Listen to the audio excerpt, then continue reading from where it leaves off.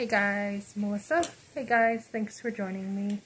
Alright, so I am a major introvert, super, super, super introverted, right? So this is how my personality is. I'm very introverted, but um, I'm also very, um, I say I'm shy, and people will be like, You're not shy because you're like so outwardly focused. Um, I am, but I also need like time to myself. I do not consider myself like a major extrovert. Um, some people have both. They have, you know, introvert and extrovert. I tend to be a little bit like that, but I'm more on the side of introverted because I do need a lot of time to myself.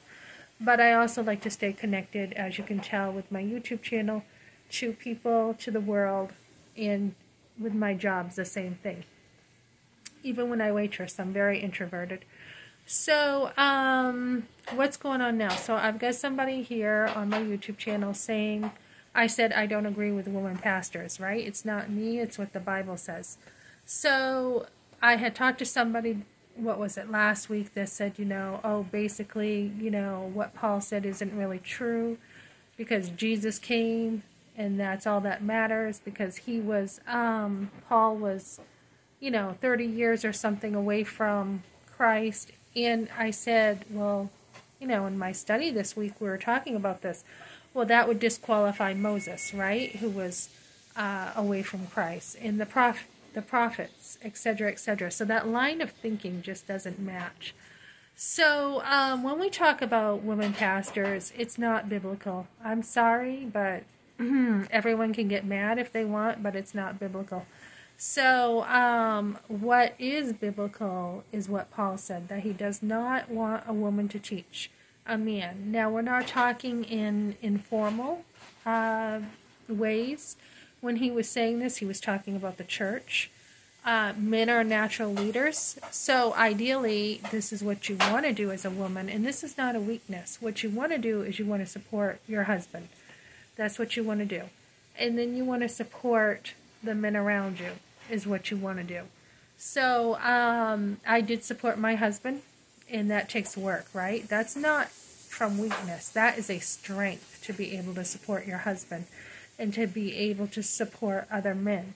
It's not something that, you know, is easy to come by with all their bad habits and stuff sometimes. It's, you know, you got to kind of work at it. So, um, that is what a woman's role is. It's in the home, it's with her husband, it's with her children to lift them up, it's in her work, it's in her community.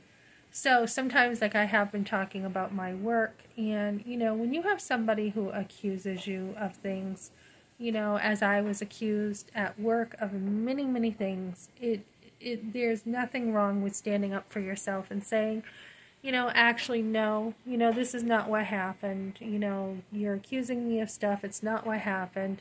There was some post traumatic stress there. You know, there was when Gabe Bolt had um, invaded my personal space, uh, there was some pressure there that I felt. There was some tension and some pressure.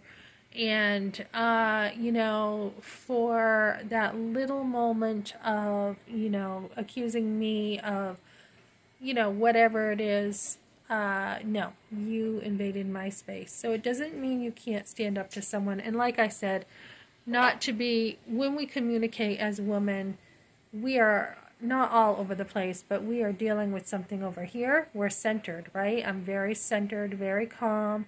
We are dealing with stuff over here, and then we go over here and we deal with it over here and over here. So we spider web stuff when we're dealing with stuff and we're trying to usually solve a problem as women, right? So I called um I called like some different centers today. I called another center that helps women after abortion and there's no question about the basic, you know, post traumatic stress symptoms of flashbacks, nightmares, um, guilt, regret, all this with abortion. But there is also more. There is also the psychological stuff that comes into play with the stuff surrounding the abortion. The you know, a lot of times when women feel pressured, they feel like they have to give in to a guy. They feel that. They feel like they have to be the one who has to give in to a guy. And that comes from, you know, probably something that happened around the abortion. So that is not an invitation for a man to, you know, have sex with you. It's not an invitation. It's not it's not an offer. It's none of that. So um, be be willing to stand up for yourself. And I've got Kevin Leandro threatening that you know he has a solid case, and he's saying I attempted uh, adultery with Gabe Bolt, and nothing could be further from the truth. And when you don't know somebody's heart, and you don't know, you know why they may work at KW, like I said, I was definitely invited to apply there, not through Gabe Bolt, but through a couple other men. Um, when you don't know the heart of somebody and you make these accusations, it's just ridiculous. So this is my point with Leandro. He makes accusations, and I'm not saying that he's, you know, he's making accusations with me too, saying that I'm making false accusations when I am not at all. So he's the one making the false accusations. So make sure you deal with this, ladies. Deal with it very thoroughly. Be willing to take the extra time to get into the detail of how things happen, how they go about. Um, so I do appreciate that the bolts were there. Like I said, they were understanding afterwards, but still, they were like, we don't want to hire you back. And to this day, I have not had, um, you know, a real apology with the um, with the work situation. Yes, I, I know Gabe said sorry in his own way uh, and even you know on his YouTube channel, I help out over there. And but you know, I still haven't gotten an apology from Gordon. I just got you did a bad job, and that's it.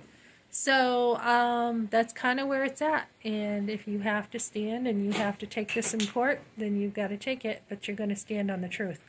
And it would be very hypocritical, in my opinion, for a church to have a problem with this when they speak so often about standing on truth. So that's what I got for now, ladies.